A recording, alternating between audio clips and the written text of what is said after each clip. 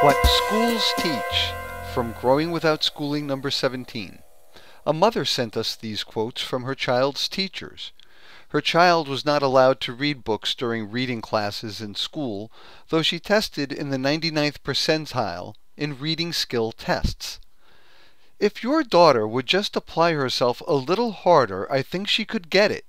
She has got to understand that much of the work done in school is boring and tedious fifth grade teacher.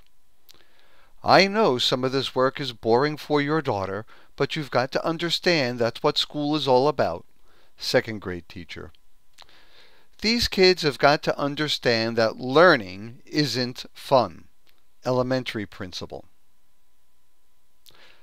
Children versus courses.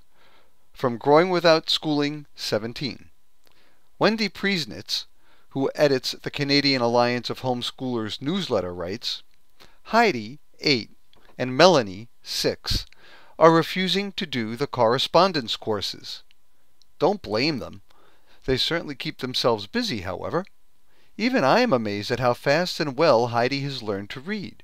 And she reads constantly, almost until she starts to do the courses, when she soon is heard to say, I hate reading. We've said they don't ever have to ever do the course. But they seem to feel an obligation to them because they helped get us approved. So from time to time they go at it, only to remember how boring it is and put it away until they've forgotten again.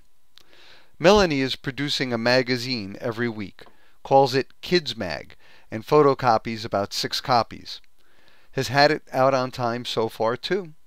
She's now producing the issues ahead of time and releasing them at the proper time. Gave me a lecture about the theory behind that, too. The masthead proclaims that she is art director and publisher. Heidi is editor because she can read. Must tell you something Heidi and Melanie had going last night. Had a lot of fun with it. Melanie came up to me and said in a gruff voice, I'm the government and big people have to go to school. Heidi said, Yeah, Everyone over 32 years old. Rolf is 32. She said, We'll sneak into the government buildings at night and write our own laws on the back of theirs. Melanie said, So that we don't waste paper.